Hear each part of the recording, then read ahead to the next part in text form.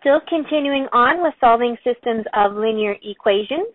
I have another example in this one here, so let's just get right to it. Solve the system of equations again by your choice, and by that I mean by substitution or elimination, and I encourage you to graph this to check your answer. So this is the perfect time to pause the video and double check up on your skills to see if you know how to do this correctly.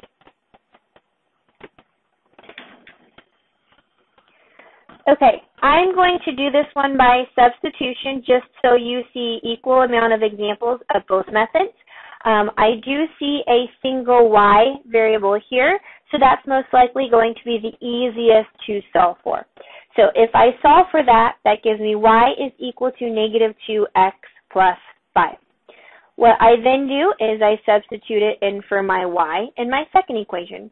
That gives me 4x plus 2 times negative 2x plus 5 is equal to 8. Distribute this through, that gives me 4x minus 4x plus 10 is equal to 8.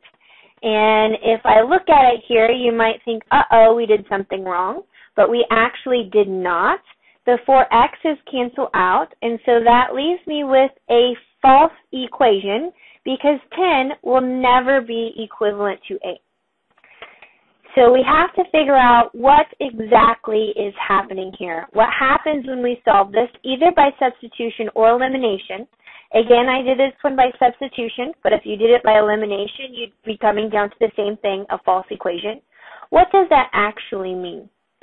Okay, we need to go back and we need to think about what are we in fact trying to do here? Well, the very first thing I showed you was a visual representation.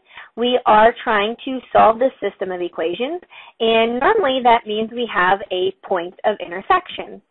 Okay, well, what happens if we have a false statement? That means that we don't have a point of intersection. So what can possibly happen to not give us a point of intersection between two lines? And hopefully you have it picked out. This means that we have parallel lines. These lines will run side by side forever and they will never intersect each other. So it is possible to solve a system of equations to come down to a false equation because 10 will never equal to 8. If that's the case, you have parallel lines. And if you're looking for the point of intersection, these parallel lines will never intersect. And so you do not have any solutions to this problem. So the answer would be no solution. So one more time, a false statement means parallel lines, which means there is not a solution. Okay, let me give you another example. 2x plus y is equal to 4. And then my second equation is negative 6x minus 3y is equal to negative 12. Again, I suggest that you pause the video, solve this system of equations by substitution or elimination, and see if you can come up to the answer with this one. Okay, doesn't matter which method I choose because they're going to be the same. So let me just go to elimination method. I'm going to eliminate my y's, and I'm going to do that by multiplying the first equation by 3. When I distribute that through, that gives me 6x plus 3y is equal to 12.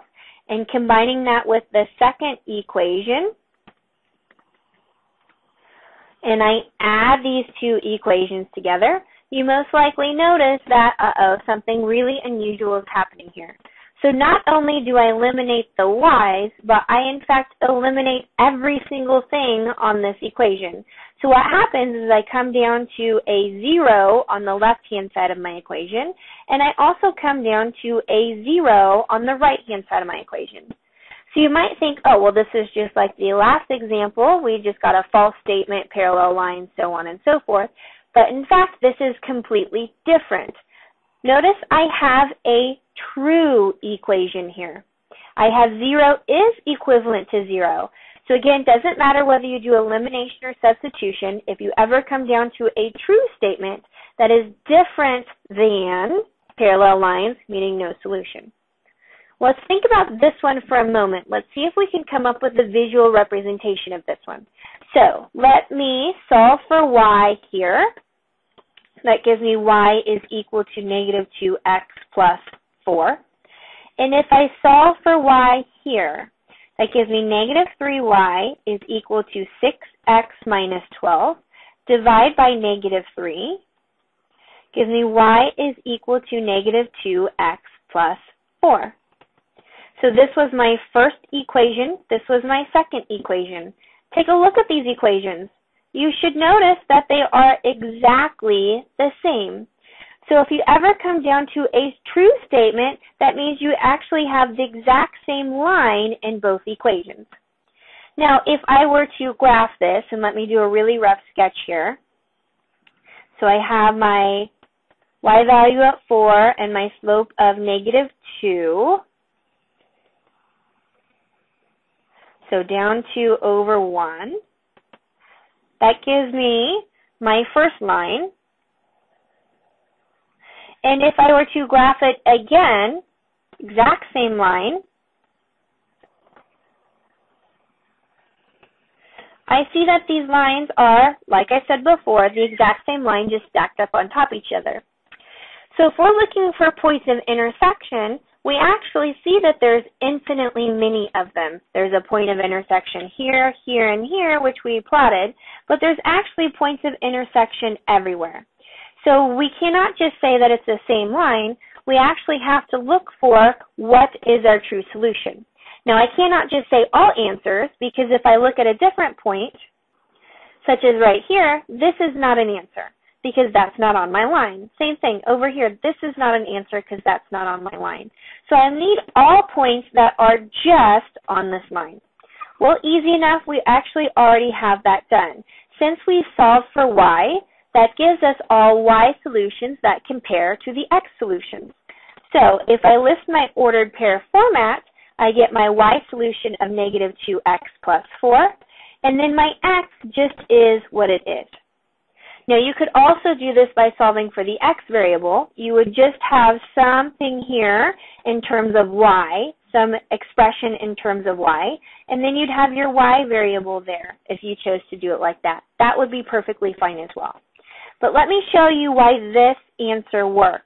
Because if I pick an x variable, let's just say hypothetically I pick 1, and then I also put that variable in for here and here. So my y variable would be negative 2 times 1 plus 4, or positive 2. Well, that gives me a point on my line. If I pick a different x variable like 5, and I plug it in here, negative 2 times 5 is negative 10 plus 4, that gives me negative 6.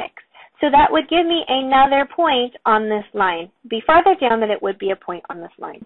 So this here gives me infinitely many points that are associated with this line. So don't ever just say it's a true statement and there's infinitely many solutions. You must specify what exactly those solutions are. And again, you can do that by solving for the y variable that looks like this, or you could have done it by solving for the x variable that looks like that. So this video is over the unique things that can happen when we're trying to find points of intersection. We can see that they, in fact, never intersect because they're parallel lines. That gives us the answer of no solution. Or we can see that they will intersect at every single place because they're the exact same line, and so that gives you infinitely many solutions, which you must specify what they are. And that sums up this video here. And in the next video, of course, we're going to crank up the heat one more notch, and we're going to see what else we can do with things that are similar to this.